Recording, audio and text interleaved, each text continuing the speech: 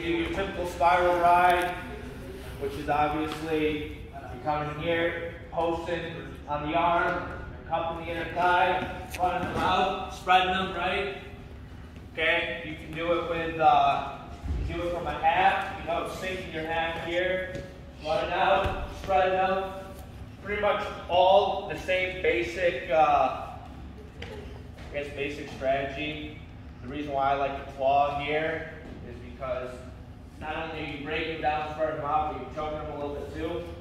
So what we're going to do here, starting off, referee's position, you're bumping them forward. So just like what we did, you're going on your toes, you're bumping them forward.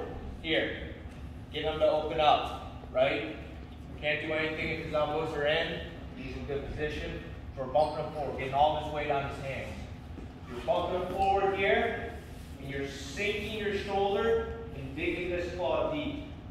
And you're trying to, you know, wrap around his neck. Here, get as deep as possible, and then you're cinching it tight. So come in here, and you're cinching, trying to get your elbow back to your side, right? Tighten it up, choking him a little bit. Other hand, cupping the inside of the thigh, and we're running it until he's flat. Keeping this cinch the entire time, elbow close to my body. You don't want it out here like this, this is no good. Cinch tight, run it here. When you come to here, break, switch partners will go over uh, the finish there, that breakdown in a little bit. But main thing here is, so we're in referee's position. Okay, we're bumping them forward. We're coming up on our toes, bumping them forward, getting this weight on his hands. All right, that's the first thing. This is one of the more important. Then we're digging this, we're dropping our shoulder here, digging deep, rapid, and cinching tight. Elbow in. Elbow in here, tight. Choke them a little bit.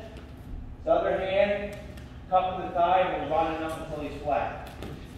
Here, staying on our toes the entire time. Any questions? All right.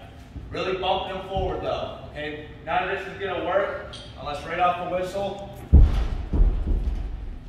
From your knees. Can't do it from here and expect this to work.